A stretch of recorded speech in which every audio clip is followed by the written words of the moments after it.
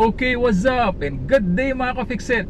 So welcome po sa panibago na namang episode ng Fixit Dennis. I'm your host Dennis. So for today's episode ng Fixit Dennis, ibabahagi ko naman sa inyo kung paano magmaneho ng automatic transmission na sasakyan. Kaya't kung interesado kang malaman kung paano magmaneho ng automatic transmission na sasakyan, tumuto ka lang sa video na to.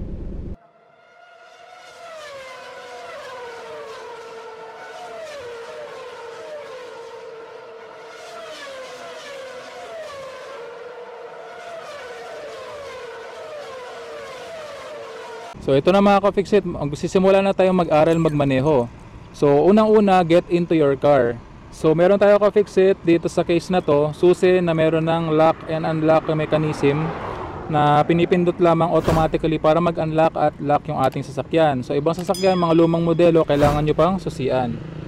Pero in this case, gagamit tayo ng susi para ma-unlock siya. So yung icon na to, which is unlock, ipindutin nyo lamang yan para ma-unlock yung ating sasakyan at pwede na po tayong pumasok hilain nyo lang pa hilain nyo lang po yung knob ng ating pintuan. Ayan. Then climb into the cockpit.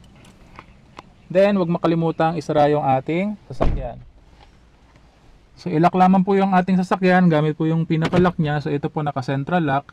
Kaya pag binaba po natin ito lahat po ng lock ng mga sides ng ating pintuan ay malalak na po mga ka-fixit. So sunod po mga ka-fixit make yourself comfortable. So adjust your car seat to your needs mga ka-fixit So in this case, meron po itong dalawang adjustment dito sa unahang bahagi ng uh, sa unahang bahagi ng upuan. So meron po itong hawakan na inyo lamang pong itataas para po ma-adjust po ninyo yung inyong upuan ng paabante or paatras. So depende po yan kung gaano po kayo katangkad or gaano po kalaki yung inyong pangangatawan para maging komportable po kayo dito sa inyong inuupuan, sa inyong sasakyan. So ihilahin ko lamang po ito. Ayan mga pa-fix it hanggang sa maging komportable po yung layo ko sa mga pedals at sa aking pong steering wheel. So in this case mga kapixet sa adjustment na to, medyo hindi pa ganun kakomportable. So i-adjust ko pa siya. Dito naman sa side na to, meron po itong knob dito. Sa side lang po ng upuan sa left side. Para ma-atras at maabante ko po yung aking sandalan. So wag naman po masyadong abante at wag naman po masyadong atras. So adjust lang po natin siya. Ayan, ito na po yung komportableng position para sa akin. Nakasandal po ako ng maayos. Tama po yung layo ng aking uh, mga paa sa mga pedals at komportable ko pong nahahawakan at naaabot yung aking steering wheel. So hindi naman po masyadong nakagano na pike, hindi rin naman po masyadong malayo. Tama-tama lamang po mga ka-fix it. So napaka-importante po na komportable po tayo sa ating inuupuan, lalong-lalo na po pag nag-aaral pa lamang po tayo magmaneho para po maging smooth and safe yung ating experience. So mas madali rin po tayo matututo magmaneho pag tayo po ay komportable. Sa steering wheel nga pala mga ka-fixit, meron din po itong uh, adjustments kung saan pwede nyo pong ibaba at itaas yung inyong steering wheel. Pwede nyo rin po itong hilain papunta sa inyo at pabalik sa kanyang neutral position. Depende na nga lang po sa modelo ng inyong sasakyan kung capable po pa ang inyong steering wheel na gawin yon. Pero in this case, in a Toyota Wigo, wala po siyang adjustments. Kung ano po yung position ng ating steering wheel sa ngayon, yan na po yun. Okay mga ka-fix it, so ngayon na alam na natin lahat ng mga controls at komportable na po tayo sa ating inuupuan, mag-start na po tayo mag-aral magmaneho. So unang-una ka-fix it, fasten your seatbelt. Ganon din po yung kasama ninyong professional or non-pro drive, uh, professional na driver para i-guide po kayo. So dapat po naka-seatbelt po lahat ng nakasakay sa sasakyan para safe po yung ating gagawing pag-aaral ng pagmamaneho. Okay mga ka-fixit, i-on na natin sa sasakyan ngayon. So hawak ko na yung susi, pasok na natin yung susi sa ating uh, uh, ignition key. Yan, so nakalock po tayo ngayon. So may apat na position siya, lock, ACC, on, and start. So nakalock pa siya ngayon. Pero bago pa natin i-twist yung ating susi clockwise, siguraduhin lamang po natin na naka-park position yung ating uh, gear selector and naka-on po yung ating handbrake. Okay mga ka-fixit? So yung ating po susi, on na po natin, lagay natin sa on position. Kung mapapansin niyo mga ka-fixit, uh, nag-on din po yung ating panel, pati po yung ating uh, entertainment system. So may power na po ibig sabihin. Off lang po natin entertainment system, maingay siya. Then, i-on na po natin yung ating sasakyan. So in this case mga ka-fixit, hindi na natin kailangan tapakan pa yung ating ah, preno para mag-on yung sasakyan. Ayan mga ka-fixit. So kapag ka, pagka i-on nyo po yung sasakyan mga ka-fixit, i-twist nyo lang po yung susi clockwise, then pag nag-on na po yung makina, bitawan nyo na po yung susi. Babalik na po siya sa kanyang neutral position.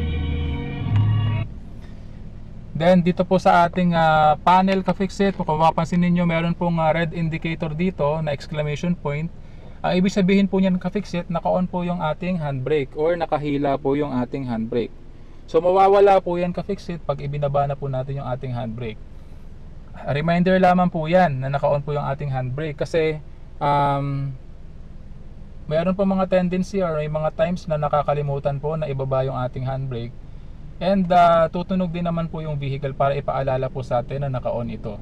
So on lamang po yung uh, on lamang po natin yung ating aircon kung meron pong aircon yung inyong sasakyan para po maging komportable po yung ating pag-aaral ng pagmamaneho. Okay mga ka-fixit. So ngayon na komportable na tayo sa ating inuupuan at alam na natin lahat ng controls ng ating sasakyan, magsisimulan na tayo mag-aral magmaneho. So una-una mga ka-fixit, uh, i-position nyo na yung inyong mga kamay sa inyong um, steering wheel. So again, 9 o'clock and the 3 o'clock position. Then yung inyong kaliwang paa sa resting position niya.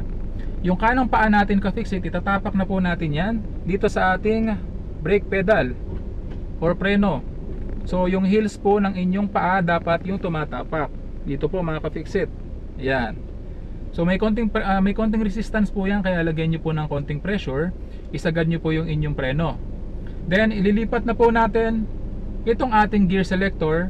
Pipindutin po natin yung pindutan, then ilipat po natin siya papunta sa D or sa drive. So nakaselect na po yung yung ating uh, drive uh, ng ating uh, transmission. So capable na po yung ating sasakyan na umandar. Then ibababa na po natin yung ating handbrake. So itong handbrake hilain lamang po natin ng kaunti. Then pindutin po natin yung kanyang lock. Then ibaba na po natin siya. So in this case mga ka-fixit, aandar na po yung ating sasakyan pag atin pong binitawan yung ating preno. Pero bago po natin na gawin yun mga ka-fixit, tumingin po muna tayo sa ating mga side mirrors at sa ating rear view mirror. Ayan mga ka-fixit. Kung meron pong paparating na sasakyan sa gilid at likurang bahagi ng sasakyan para maging handa po tayo at aware po tayo sa ating surroundings.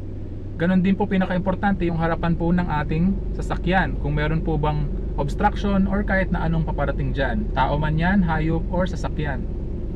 Pag nakasigurado na po tayo na clear na po yung ating surroundings, hawakan nyo na po firmly yung ating uh, steering wheel, 9 o'clock and 3 o'clock position, then i-release na po natin yung ating uh, foot brake or ating preno, dahan-dahan lang mga ka-fixit.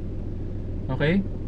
So pag na-release nyo po yung ating preno, huwag nyo pong i-release ng full, kaunti lamang po muna, aandar na po yung ating sasakyan at a very slow speed. Yan. The more you release the foot brake, the more speed you will gain with your vehicle. Yan.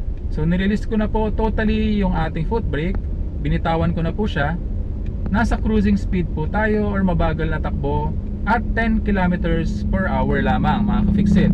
So nakadepende yan sa modelo ng inyong sasakyan, sa lakas ng kanyang makina, yung capabilities niya na tumakbo kapag nililis nyo na po yung inyong foot brake. So meron po yan kaya ng 20 or 30 kilometers per hour. So in this case, a Toyota Wigo is only capable of 10 kilometers per hour. Pero unti-unti po siyang bumibilis depende po sa lagay po ng ating kalsada. Ito po medyo pababa na kaya medyo lumampos po siya ng 10 kilometers per hour. So paglilipat, pagliliko po tayo mga ka-fixit, ayan, steer lang po natin yung ating steering wheel papunta po sa lugar kung saan po natin siya ililiko. Then ibalik muna natin siya sa kanyang resting position. Ayan mga ka-fixit. So wag po muna tayo mag apply ng uh, gasolina or uh, pressure sa ating gas pedal as of now na nag-aaral pa lamang po tayo at pinapakiramdaman pa po natin yung capabilities ng ating sasakyan. Yan mga ka-fixit So pag gusto niyo pong pahintuin yung sasakyan or mag-slow down, applyan niyo lang po siya ng preno mga ka-fixit. Pero dahan-dahan lang, huwag niyo pong bibiglain. So in this case, tatapakan ko na po yung brake pedal unti-unti hanggang sa mapahinto ko po yung ating sasakyan. Yan. Okay mga ka-fixit. So now na huminto na po yung sasakyan in a total stop, Nakatapak pa rin po ako sa preno ngayon mga ka-fixit. So ibabalik ko na po yung ating gear selector papunta po sa park position. Naka-park position na po tayo. Then hilahin lamang po natin yung handbrake. Okay, naka-on na po siya. Lumabas na rin po yung indicator sa ating panel na exclamation point na color red. Then pwede ko na pong bitawan yung ating brake pedal. Okay? That's it. Very simple mga ka-fixit, di ba? Napakadali lamang pong paandarin ng automatic transmission na sasakyan kaya wag po kayong matatakot at wag po kayo kakabahan. Presence of mind is always needed and stay calm. Okay mga ka-fixit. So ngayon naman, paandarin ko ulit ng sasakyan pero this time mga ka-fixit, mag apply po tayo ng gas pedal. So importante mga ka-fixit na kapag ah, nakuha nyo na po yung feel ng inyong sasakyan, yung kanyang takbo pag nirelease nyo po yung preno, is maintindihan nyo po yung capabilities ng inyong sasakyan at ah, maramdaman nyo po yung pressure ng inyong foot brake para in the next time or in the next run, alam nyo na po yung tamang pressure na i-apply ninyo sa kanya. Tandaan lamang mga ka-fixit, yung tamang position ng paa nakatapat po palagi in a straight position yung inyong paa sa inyong foot brake. Then kapag mag apply po tayo ng gas sa ating gas pedal, ito transfer lamang po natin ng ganito yung ating mga paa. Okay? Ganyan mga ka-fixit. Mas safe po yan kaysa sa ganito. Kasi mas mahihirapan po kayong pumreno pag ganito yung position ng inyong paa. Okay, sa automatic na sasakyan at kahit sa manual, it's the best practice na nandito po yung ating paa sa brake pedal na katapat. Then, magagas lang po tayo ng paganyan. Mas komportable po yan sa inyong mga paa, sa inyong binti at sa inyong tuhod. Mararamdaman niyo po yan kapag sinubukan niyo na mga ka-fixit. Posible rin naman na pwedeng ganito sa gitna. Pero para sa akin, ah, sa experience ko po sa pagdadrive, pinaka-safe way po na nandito po yung ating paa sa brake pedal. So, importante na kung mag-decide po kayo na ganito yung gagawin ninyo, umpisahan nyo na po ngayon na nag-aaral pa lamang po kayo para inyo po itong makasanayan. At ah, in the future, kapag ka nasanay na po kayo, is magiging automatic na po ito, ah, magiging automatic reflex na po ito ng inyong katawan. Okay, so this time mga ka-fixit, paanda rin na natin yung sasakyan ulit na mag-apply po tayo ng gas sa ating gas pedal. So again mga ka-fixit, tapakan po natin yung brake pedal Then, ilipat po natin yung ating gear selector papunta sa drive. Ibaba po natin yung ating handbrake. Tumingin po tayo sa ating side mirror kaliwa kanan sa rear view mirror. Then sa harapan po ng ating sasakyan, kapag clear na po yung ating surroundings, bibitawan na po natin yung ating brake pedal. Hawakan na po natin sa 9 o'clock at 3 o'clock position yung ating manibela. Ayan. Keep calm and stay alert lang mga ka-fixit. Kapag may biglang obstruction dyan na dumating or dumaan, biglang tumawid sa kalsada, be sure na ma-release nyo po yung inyong preno agad-agad. Pero huwag nyo naman po ipipreno i-slam nyo po yung brake ng sobrang lakas. So, may tamang pressure po na dapat ina-apply dyan. So, umadaro na po yung ating sasakyan ngayon mga ka-fixit. So, this time mag-a-apply po tayo ng gas. Again, kung ganito po yung position ng paa, mag-a-apply po tayo ng gas sa ganitong position at madadagdagan po yung takbo ng ating sasakyan or yung bilis ng ating sasakyan. Ayan, kumambyo na po siya ng second gear. So depende po sa bilis ng ating sasakyan. Kakambyo po automatically or magpapalit ng uh, kambyo yung ating automatic transmission. Magtataas baba po yan ng kambyo depende sa apply natin ng gasolina. So may paparating na sasakyan, pepreno ako. Ayan, pag clear na lumabas na siya, lumampas na siya a-apply na po ulit ako ng gas. So yung steering wheel ko po kung mapapansin niyo hawak ko pa rin siya sa 9 o'clock and 3 o'clock position. That's the safest way to do it, mga ka-fix it, okay? so wala pong daan dito, kakanan po tayo. Sisignal lang ako. Pero kailangan ko po kasing bumalik kaya tayo po ay mag-U-turn.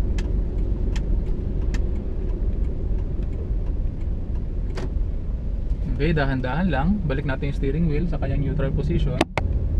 Okay mga kapiksit, nag-a-apply pa rin ako ng pressure sa ating gas pedal para umandar ng uh, mas mabilis yung ating sasakyan.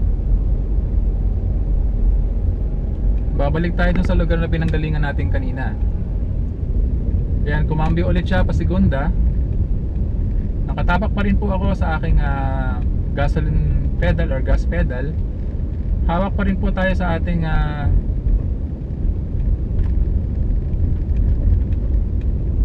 steering wheel ng 9 o'clock at 3 o'clock position. So malapit na po tayo lumiko ng pakanan kaya pupunta na po ako sa right side ng road. Ayan, mag-a-apply po ako ng konting preno, then sumignal na po ako ng pakanan. Ayan. Then, liko po tayo. Kung hindi naman po masyadong bend yung liko, pwede na po na hindi niya po bitawan sa 9 o'clock and 3 o'clock position yung inyong manibela. Pero kung masyado pong liko, that's the time na i-steer nyo po yung inyong manibela ng mas ah, mas paikot than the usual. Naka-apply pa rin po ako ng gasolina sa aking gas pedal. Umaandar na po tayo ng nakasegunda. So mararamdaman niyo po sa automatic transmission na may konti po siyang sikad kapag siya po ay nagpapalit ng cambio automatically. Hindi naman po masyadong masikad pero sa mga experienced drivers, kahit na slight na sikad lang, mararamdaman niyo po yan na nagpapalit siya ng cambio sa automatic transmission. Well, sa manual talaga ramdam na ramdam mo kapag ka nagpapalit ka ng cambio. Pero sa automatic, yung mga newer cars or mga bagong labas sa kasa, hindi mo masyadong mararamdaman yan. Pero pag medyo matagal-tagal na yung automatic transmission ng sasakyan, mararamdaman mo siya nagpapalit ng cambio habang tumatakbo. May konti siyang sikad, mga ka-fixit. Pero pag masyadong malakas yung sikad, pag nagpapalit ng cambio, may problema yung automatic transmission nun. Kailangan nyo po yun ipacheck. Okay mga ka-fixit? So, tatabi tayo, magpa-park tayo dito. So, pupunta na ako sa shoulder ng side, right side of the road. Tingin lang po tayo sa side mirror kung walang ibang sasakyan, no? Ayan. So, hindi na po ako nag-signal kasi wala namang sasakyan. So, tapakan lang po natin yung preno dahan-dahan hanggang sa mapahinto po natin yung ating sasakyan.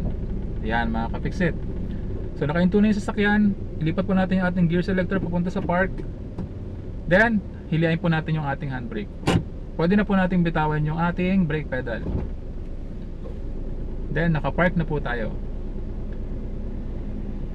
Okay mga ka-fixit. So ngayon naman, papakita ko naman sa inyo kung paano mag-reverse.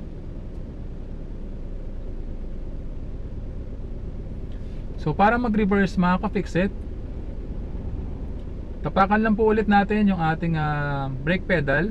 Then hilain po natin or ilipat po natin yung ating gear selector papunta sa R or reverse. So nakaselect na po yung reverse natin mga ka-fixit. So ibaba na po natin yung ating handbrake. Huwag niyo pong kakalimutan ka-fixit. Titingin po tayo sa ating side mirror at rear view mirror. In this case, pa-reverse po tayo kaya magpo-focus po tayo sa ating rear view mirror and side mirrors kung meron pong obstruction sa likuran. So meron po paparating na tricycle ako nakikita so hindi muna tayo aatras. So mga ka-fixit sa pag-address nga pala, kung saan niyo po ipapaling yung inyong ah, steering wheel, dun po pupunta yung sasakyan. So kung ipapaling niyo po ng pakanan yung inyong steering wheel, pupunta po sa kanan yung likurang bahagi ng inyong sasakyan. Kumbaga gaganon po siya. Kung ipapaling niyo naman po sa kaliwa yung inyong steering wheel, yung likurang bahagi po ng inyong sasakyan, ipupunta naman po sa kaliwa. Okay mga ka-fixit? So aatras po tayo ngayon. Bibitawan ko na po itong ah, brake pedal para makaatras po tayo. So ayan, umaatras na po tayo mga ka-fixit. Pero pag umaatras, siguraduhin niyo po na dahan-dahan lamang po ang inyong pag-atras. Mas dahan-dahan po kaysa pag kayo po ay umaabante. Dahil mas hirap po ang inyong vision kapag kayo po ay umaatras. So in this case mga ka-fixit, merong nagwawalis. So lilipat na lamang po tayo ng pwesto. Lipat ko po siya muna sa drive. Then tayo po ay aabante at mag-U-turn. Siguraduhin lamang po na walang ibang sasakyan. Yan. Tayo po ay lilipat sa kabilang parte ng kalsada. Yan mga ka-fixit.